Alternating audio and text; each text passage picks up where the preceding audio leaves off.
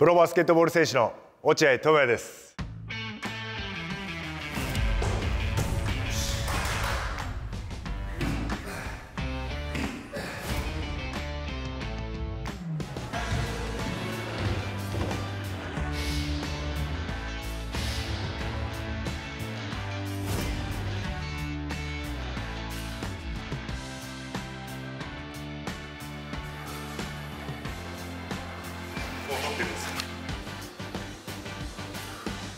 この施設はトップアスリートの方が利用するトレーニング施設で基本的にアスリート1人に対して栄養士1人トレーナーが1人つく体制で選手のパフォーマンスアップを目的にトレーニングプログラムやコンディショニングプログラムを考えています。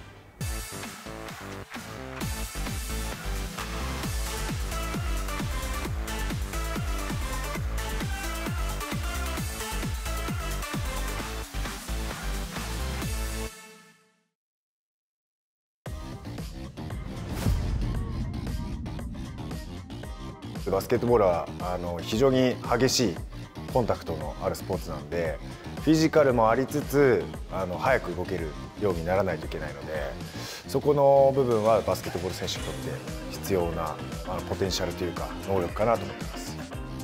まず落合選手は3人制を専門にしているので海外のサイズの大きい選手に当たり負けしないフィジカルの強さを上げるっていうところと試合の展開がかなり攻守入れ替わり激しいので動作のスピードを上げたり高出力を出したりっていうところをテーマに取り組んでいます。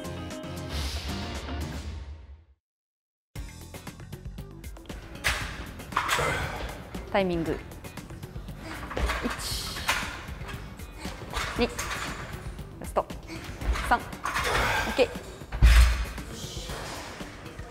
まず前半にあの爆発的パワーの発揮を上げる種目を入れていて全体としてはあの動作スピードをとにかく上げるっていうのとあの下から上に床の反力をうまく使うっていうところを目的にして筋の立ち上がり速度を速くするっていうところをテーマにその種目を選んでいます。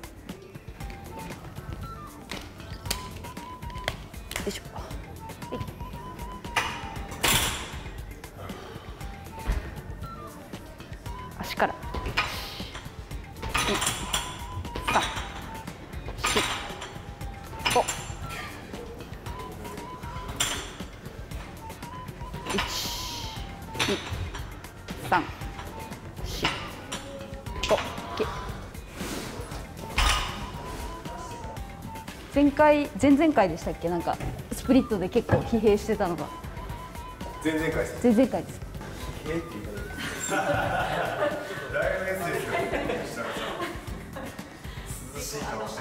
調子がいい時と悪い時の落合さん結構違うので。本当にだから今日できなかったら帰りの車の中でめちゃくちゃ休みます。吉高さんのメニューを買わせなかった。らクソ。っていう。そういう毎回奮い立たしうん、よし。OK です。5回ずつ。5回ずつ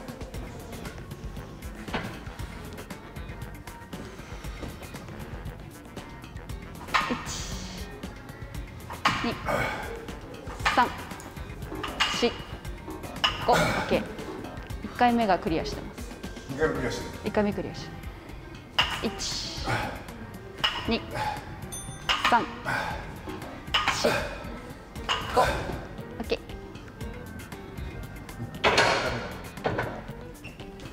時間差で来るの？金の立ち上がりのスピードをバーの上げ下げでカメラが撮って計算して出してくれるのでクリアするとチーンっていう音が鳴るので。123前に深く下がりすぎか1いいですね。2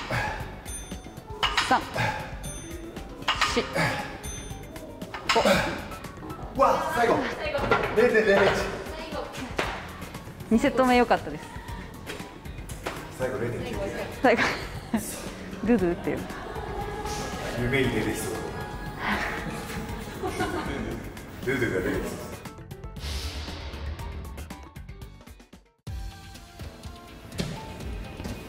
力も久々だなと思う怖い。まだ怖い始まってたこれ怖いんですよねもう最初向こうを見てく。ださい全然低いのにルンバルンバルンバ見てれ自分との戦いはい短く。パーンっていきましょうはい OK 徐々に慣れる短く。OK ラスト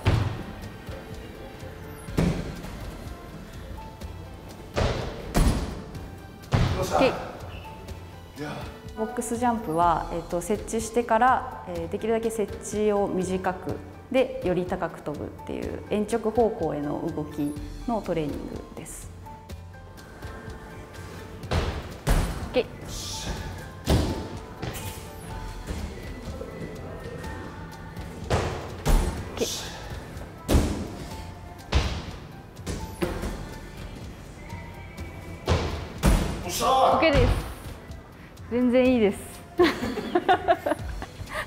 ノーミス。ーノーミスノーミス。嬉しいナイス。ナイ一個で。一個はい。つけてつけていいです。よしおっしゃ OK ーだよし。ノーミスジャンププおっしゃ ー OK だよし。ジャンプはミスるとあれ引きず引きずっちゃう引きずっちゃいますね。失敗。めっちゃどうですか、はい。本当だえぐいえ、あのあれできるわ足したやつできる絶対あ本当だ。すえぐいこの メデごい。メディアに強い。えでもこれなんだよな問題は？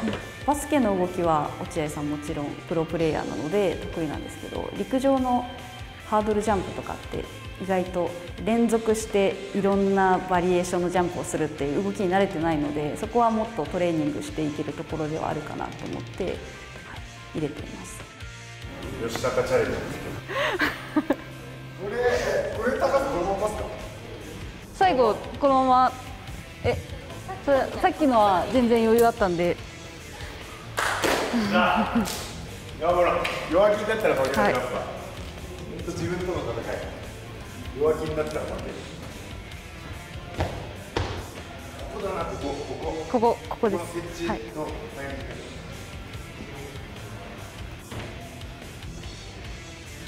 テンポよくテンポよく。あこれ失速しましたね。な。んか連続のリバウンドジャンプが苦手っていうニーズがもともとあったので1回のジャンプの設置がどうなのかっていうところから組み立ててで今はちょっと応用レベルを上げていってハードルジャンプランダムなリズム崩したトレーニングを入れています。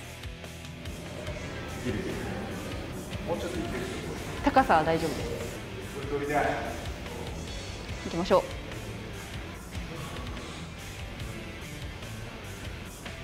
テンポよく。どんどん。あー惜しい。今はつま先。つま先だ。テンポ良かったですね。テンポよく。どんどん。あー惜しい。今はつま先。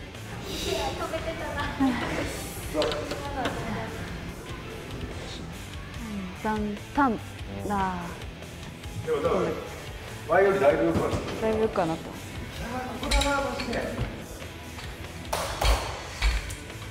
あともうちょいだ試合で辛かった時にどれだけ頑張れるかっていうのもトレーニングで養える部分ですしそこは本当になんで今日の出来に関しては全く満足してないですね。もっともっとできないといけないなと思いますしできたらさらに課題が来るのでもうそれに突き進んでいくだけです。とにかくこっちはあの課題を出す方はリズムを崩したいのでバスケも別に決まった動きはないので例えば左が高くて右が下の時に体がどう動くかっていうのを無意識のうちに調整できるようにっていう目的で落合さんがあのどんどん難しくなるって言ってたんですけどああいう、えっと、コーディネーションとかのトレーニングは同じできたできるようになったものをあの繰り返しやってもあまりその能力は伸びないのでもうどんどんランダムに課題を変えてしまった方が、えっと、トレーニングとしては成り立つかなっていうふうに考えています。あの年齢今自分35歳ですけどあの年齢なんて本当に関係なくあフィジカルだったりスピードは上がっていくなっていうのはラボに来て改めて感じさせてもらってるので本当にトレーニングをどれだけできるかいやきついなとか言いながら楽しませてもらってますけどやっぱそういうふうに楽しみながらやって自分が強くなってるのを実感できてるので本当にあのいい時間を過ごせてるなと思います。